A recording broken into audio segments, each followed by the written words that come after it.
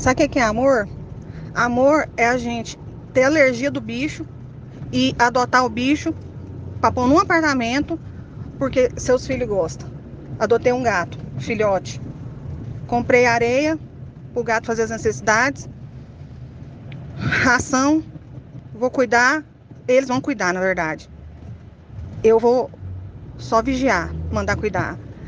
Fui buscar o gatinho. Quando peguei ele, me mordeu, me arranhou inteiro. Eu tô com os braços parecendo que o Wolverine me rasgou no meio. O gato, o gato me odiou. E eu, eu só peguei ele no colo. Ele fugiu.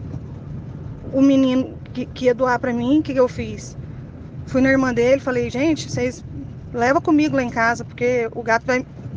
O gato vai cometer um homicídio com a minha pessoa aí. Fomos, né, pro, pro apartamento. Falei, moço, sobe comigo. Aí ele subiu. Quando o Pedro viu o gato, deslumbrou.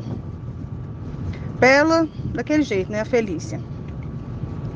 Eu fui dormir 4 horas da manhã, porque me deu uma crise alérgica, empolei meu corpo todo, coçava. Coçava tanto que parecia que eu tava com sarna.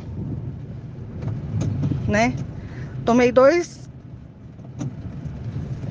é, antialérgicos que não dá sono, né? Porque se desse também não ia, né? Eu durmo pouco. Mesmo assim, cocei, cocei, cocei, cocei. Agora eu tô indo embora pra casa. Chegando lá, tô com medo do gato.